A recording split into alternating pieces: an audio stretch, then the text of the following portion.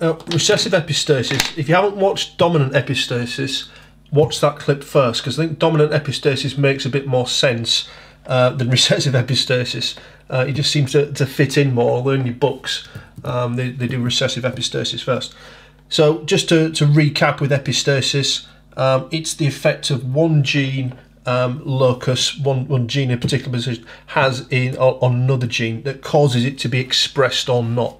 Um, and, and that's uh, you know important. This, the epistatic gene doesn't actually give the code for. Uh, it's not a phenotype, um, so it doesn't make a particular color. It will simply stop um, another pair of alleles from ex, from being expressed, or, or will allow them to be expressed, depending on what you get.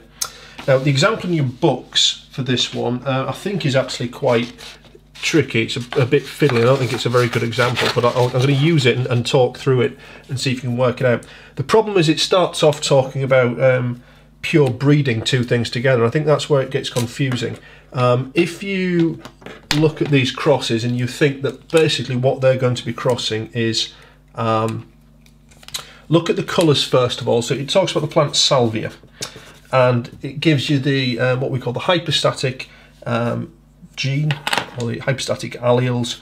Um, we're going to represent that with capital B, uh, the, the, dominant, and small b for the recessive. Now, what it suggests in the book is that the um, salvia for uh, this will give you a purple colour, okay, and little b is pink. Now, what I'd always recommend in here is you write out first of all what possible combinations you can get. So, homozygous dominant in this case will give you purple.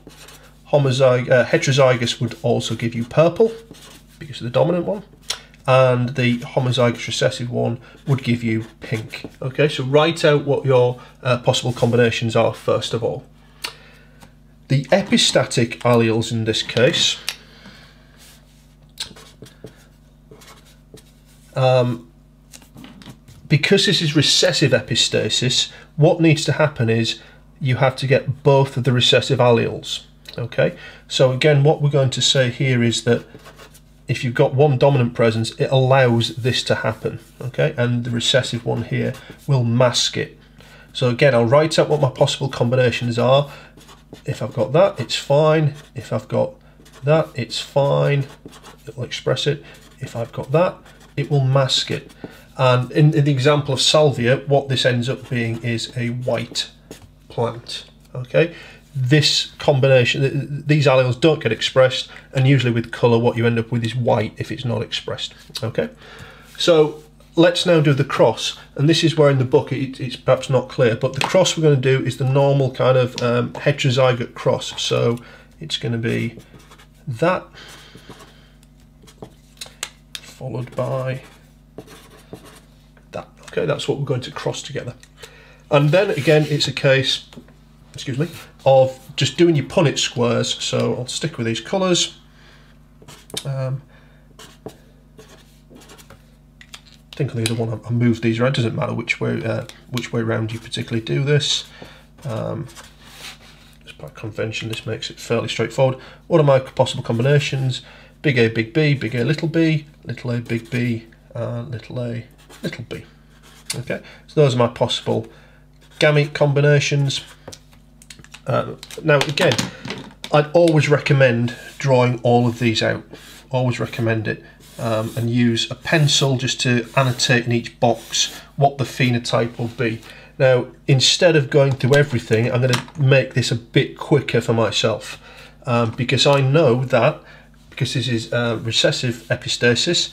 Anywhere I get little a, little a, which are basically these four boxes, it doesn't matter what comes next because in recessive epistasis it'll mask. So I know that those four boxes are going to be white. And this is where I'd, I'd, make a mark on my sheet, you know, I'd put white or whatever, something so I know what it is in those boxes, okay? Now if I follow through the rest of them, um, it doesn't even matter what the A is anymore. It could be anything, okay? I know that there's at least one dominant present, doesn't matter what else is there. I know that all of these are going to be expressed, okay? The only thing I've got to look at now is what's the, the, the second combination, what's the hypostatic one. So I'll go through these just to walk them through. So hopefully you're following what I'm doing here and I'm going quickly at it.